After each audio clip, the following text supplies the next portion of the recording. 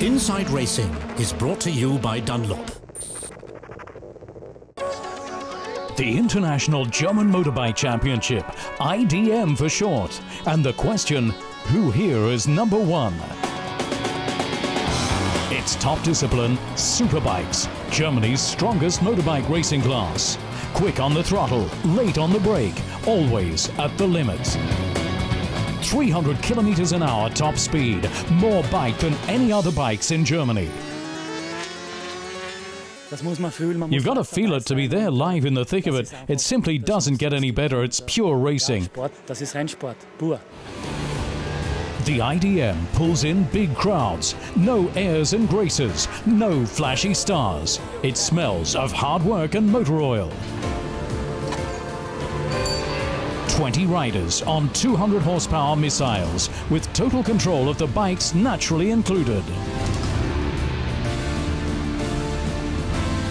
It's not that much worse than when someone comes down a hill on a bicycle at 90 or 100 kilometers an hour. I'd say they're the mad ones as they're not wearing any gear. At least we've got our leathers on.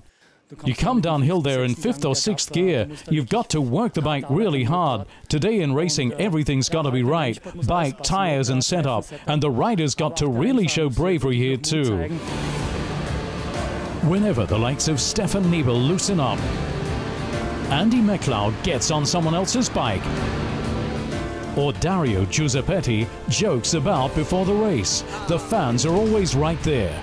Spectators here get closer to the action than in almost any other sport. In IDM, anyone who buys a ticket has the opportunity to come into the paddock and get really close to the riders, which naturally makes it very special. There's hardly any class of racing left today that's as close to the fans as we are. Reigning champion Jörg Teuchert with problems this season. A painful finger injury makes every pull on the clutch torture and is to cost him his title this year. Even the friendly support from IDM Superbike colleagues can do little to lessen the disappointment.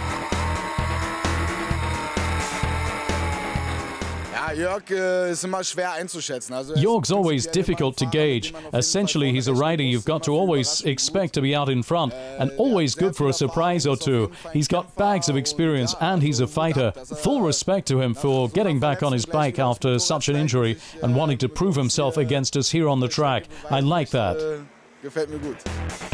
The International German Motorbike Championship was primarily dominated in 2010 by foreign riders, Werner Daemen, Belgium, and Karl Muggeridge, Australia.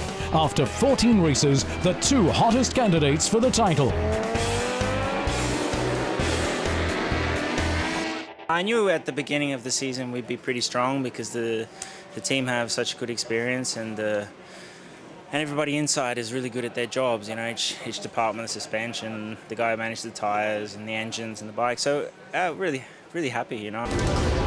The alpha male, the top dog, the number one. For 2010, the Superbikes have once again found an answer to the question of questions. The new IDM Superbike champion is Karl Muggeridge. Inside Racing was brought to you by Dunlop.